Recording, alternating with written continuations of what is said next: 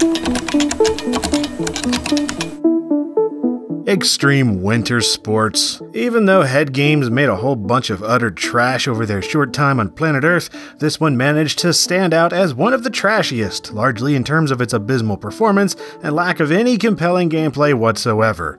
But believe it or not, there's more to this dysfunctional family, and here's the proof. Snow Wave Avalanche, once again developed by Hammer Technologies, but this time it's published by Intense Racing into Reality. At least, this 1998 American release I have right here is. Otherwise, it was released as Snowboard Racer in the UK and various parts of Europe, as Tignes Snowwave in France, and re released as Tech Deck Snowboarding in the US in the year 2000. Seeing as some of these came out before Extreme Winter Sports, calling this a sequel isn't exactly true. It's actually the original game that Extreme Winter Sports was based on in the first place, although it may as well be a sequel for reasons you'll see soon enough. And yes, Snow Wave Avalanche here also remained sealed for the better part of two decades with no signs of tampering. Inside the box, you get some things, including a CD in a sleeve one intense registration card, and a technical troubleshooting supplement page, and the manual, which looks more impressive on the outside than it is actually on the inside. It's just a bunch of black and white text, more than anyone needs, but I applaud the effort. Starting the game up, and already this is an improvement over Extreme Winter Sports. Unlike that, this is installed and starts up perfectly with no problem on each machine I tried it on. Huh, after a few static logos, you're provided a language selection menu and a spinning skateboard that changes patterns to match the flag of each country chosen. This feature alone is an incredible work of art compared to the entirety of Extreme Winter Sports, and I grow more confused. After this, the game proceeds to play a demo in the background and some music off the CD, and this time around, it's an actual musical composition with vocals and everything.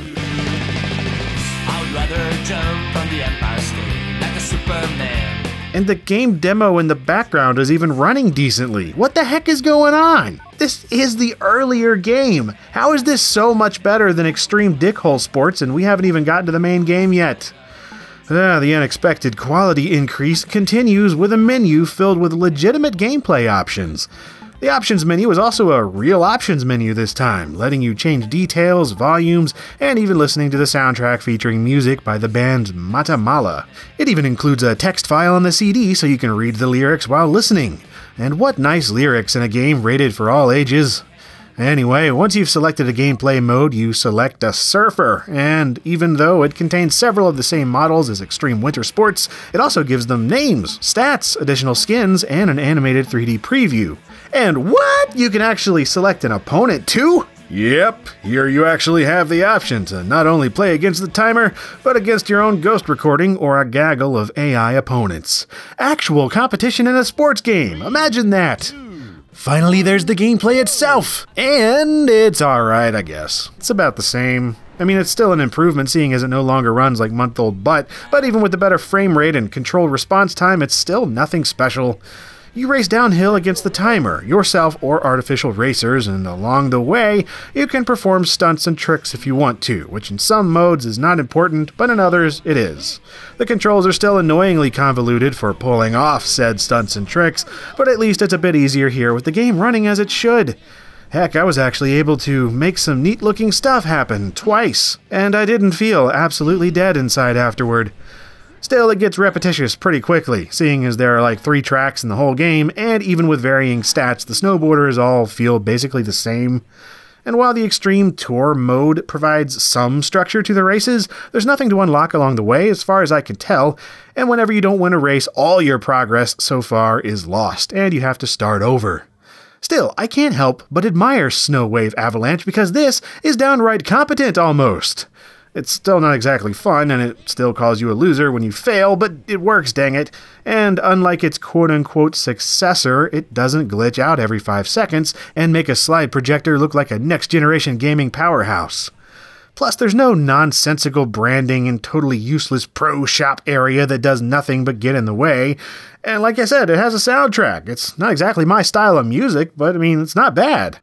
Pretty much the only thing that Extreme Winter Sports has over this is the inclusion of skiing and snowmobiling, but that's not saying much, seeing as those were the modes that played the worst and glitched out the most. The question is, how did Head Games take a mediocre snowboarding game like this and somehow manage to make it even worse and turn it into one of the most awful winter sports games in existence? Well, I have a theory, and that is that Head Games was one of the single worst game companies to have unfortunately ever existed. You see, Snowwave Avalanche was one of the earlier titles from the newly formed Hammer Technologies based out of Madrid, Spain. This was a group of ambitious programmers and artists from Digital Dreams Multimedia and Noria Works Entertainment who previously made games like Jurassic War and Speed Haste. With years of experience under their belt, Hammer Technologies created the Div Games Studio, a programming language and game creation system meant to help simplify the process of creating games utilizing the latest 3D graphics and sound capabilities. The first title created to show off what it could do was Tie Break Tennis 98, followed up shortly by Snowwave Avalanche, both of which the developers were vocally quite proud of and hoped they would help spawn a resurgence in new game development in their home country of Spain. However, enter Head Games Publishing, the lowest of low budget arms of Activision, who at the time was still pretty new on the scene and were content making unofficial Quake add on packs.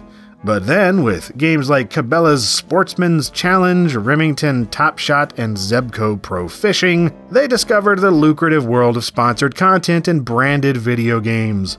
Combined with a distribution deal with stores like Walmart and Kmart, these games sold incredibly well due to the low cost and brand recognition, and even if the gameplay wasn't up to snuff, who really cared?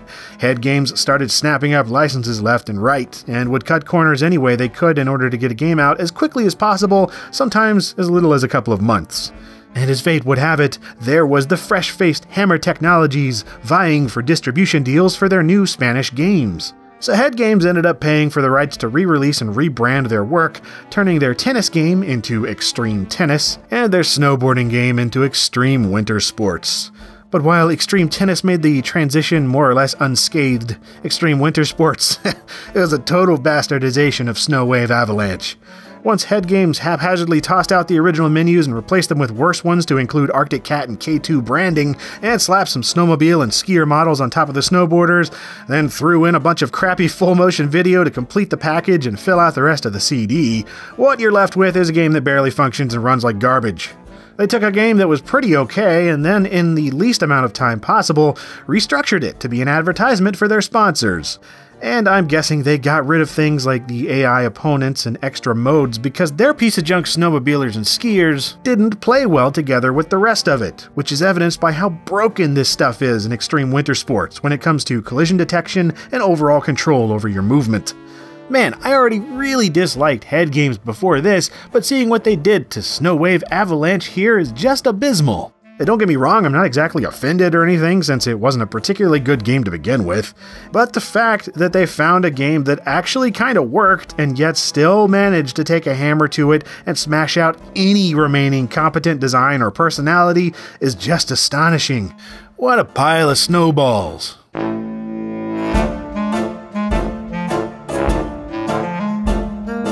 And if you enjoyed this episode of LGR, perhaps you'd like to see mine on Extreme Winter Sports. It's a bunch of junk. There's also plenty of other videos on the channel, as well as new ones coming out every Monday and Friday, so stay tuned if you'd like.